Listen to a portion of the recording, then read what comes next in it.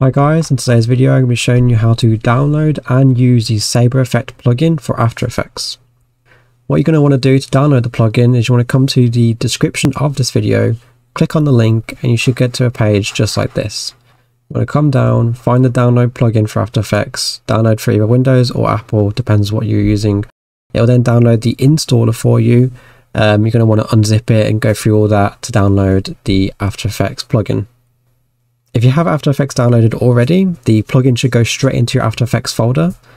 To find that folder, you want to go to your Adobe, After Effects 2022, or whichever you're using, and then your user presets. And it should be right here. If it's not here, then you're going to need to find out where it's downloaded to, and then put it into your user presets. So now that we've downloaded our Saber effects, and we've made sure that it's in our effects and presets folder, we can now come into After Effects to start editing. For the purpose of this tutorial, I have a one frame clip here that is roughly two seconds. Um, this is called a freeze frame. To do this, I uploaded a clip. I then went to the frame that I wanted, which is this, and right clicked on the clip, went to time and freeze frame. So this is just one frame frozen for two seconds. I'm using this one frame just so it's easy for me to show you how to apply this effect and some of the presets the effect has and then you can take what you learn from this and put it into your own videos. So the first thing we want to do actually is we're going to come over to the right here where it says effects and presets and we just want to confirm that the Saber effect is actually working with After Effects. So just want to type in Saber. If it shows up like this and perfect, we're just going to leave it alone and we'll be coming back to it later. If it doesn't show up, then you might need to restart your After Effects or re-download the Saber effect, or you just might need to triple check that the Saber effect is actually in your effects and presets folder. Now that everything is ready, we now want to make a mask you'll be masking around what you want the effect to be on. So in this case, it's going to be over the hand and over the gun. To make the mask, we want to click on our clip, then come to the top here and click on the pen tool, or you can press G. Then using the scroll wheel, we can scroll in and out. And if we hold it down, we can also move it around. So if we want to zoom in, and then we can move it around. Obviously, you're going to want to take more time doing the mask than I am, but I'm going to just do a very quick mask around the hand and the gun. It's not very accurate, not very pretty looking. But you will want to zoom in and take your time to make a very good looking mask. The better the mask, the better the effect is going to look. There we go. It's not too great. We'll maybe make some little adjustments right here. But that's what we got so far. Obviously yours will look a lot better than mine. So now what we want to do is we want to copy that mask. So we're going to come to the bottom left here, click on this drop down, click on the masks drop down, and then mask one. It should already be selected, but if it's not selected, just go ahead and click on it. Then press Control plus C. Then we can put this all away. Then in the same area in the grey box, we just want to right click, go to new, go to solid, then you want to call this whatever you want. I'm going to call this Saber Effect just because this is what I'm going to be putting the Saber Effect onto. Now with your new layer, you want to go ahead and select it and press Control plus V. This will then paste the mask that we made earlier. And what we're also going to want to do is going to come back to the effects and preset on the right hand side, click and drag the Saber Effect onto our new layer.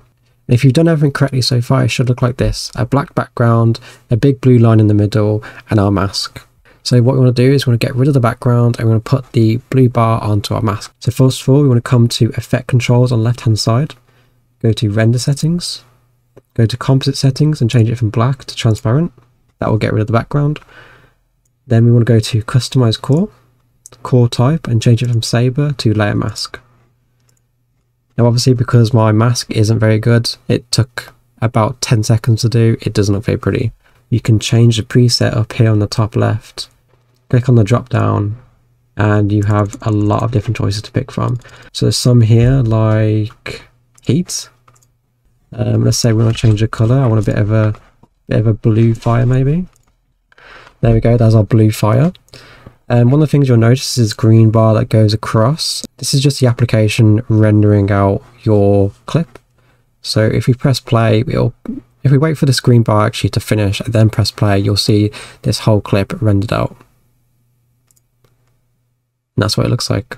So some of them have animation to them, some of them don't have animation to them. Um, one of the things also about the green bar is if you, let's say if we change it to something else, we'll just go for ghost it'll go back to the beginning again.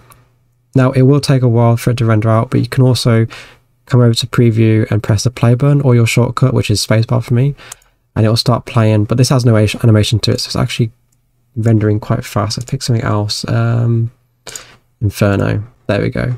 So you press play, it will start rendering out faster than it would if you didn't press play, but you will still have to render out the whole clip every time you changed uh, the preset. And this isn't what it looks like in real time. Um, from what it says at the top right here, it says it's not real time. This is once again just because it is rendering out every single frame. But once it is completed, it's gone to the far right. We'll then start again from the beginning um, as a rendered clip, and you'll see what it looks like in real time. That, that's pretty cool. Uh, I would suggest taking 30 minutes to an hour, just going through some of these different uh, settings that you can do with the mask and all that kind of stuff. It's really cool. Some of the stuff that you can do is really, really awesome. So definitely take the time to go through it. Um, some very simple settings here, and there's also some complicated ones. Like I said, I would just take some time to go through it. But that is that is basically the Saber Effects plugin for After Effects um, in quite a quick, short video. It's quite easy to use, quite simple um, once you learn how to do it. If you enjoyed the video, make sure you like and subscribe and definitely tick that notification bell because I will be making a second video on this where I go over how to use Premiere Pro at the same time um, in a montage like video. So I'll be showing you how to track the gun, some of the more in-depth settings on um, the preset. So that'd be really cool to go through. So if that's something that you would like to see, then make sure you definitely tick that notification bell. So yeah, hope you enjoyed the video and I'll catch you next time.